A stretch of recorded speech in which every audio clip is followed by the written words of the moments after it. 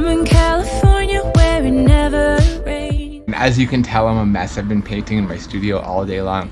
I'm gonna show you that when I get back. Let's get going and we'll have our first like uh, art scavenging adventure and we'll see what we can find out there and uh, let's take a quick trip around my neighborhood.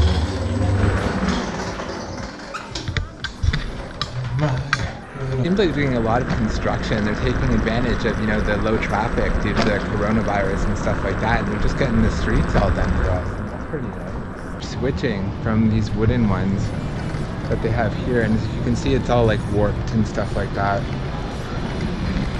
And they've got these new like aluminum ones. So I figure I'm doing everyone a favor because no one wants to like load these heavy big wooden ones that warp and you know no one wants to change them and stuff but the aluminum ones they have fold out everything like telescopic I don't touch those but I'm definitely helping the city get rid of these I'm using the stands for uh, for my um, my pop-up gallery this summer uh, making walls uh, that's important and then I use the wood usually to paint on Tell me why flower will he break my heart?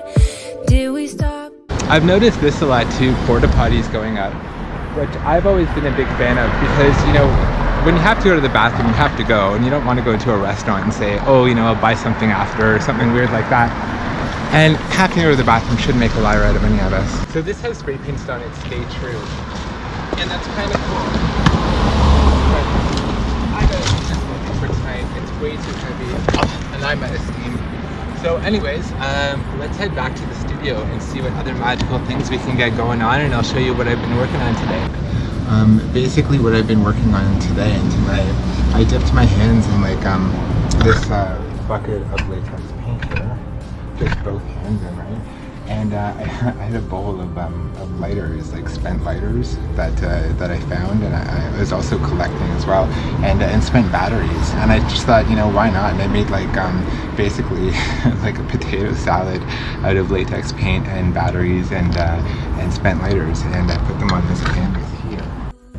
I found these um, toy guns at the dollar store for a dollar each, and they're they're cap guns, but they're pretty like you know life-size replicas of, uh, tiny like snub-nosed revolvers. Um, so, anyways, I, I, did the the potato salad thing with latex paint again, and I put them all on on this canvas here.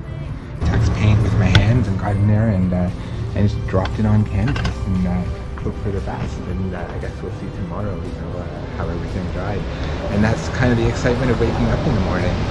And it's wonderful. Have a good one and until next time love each other love yourself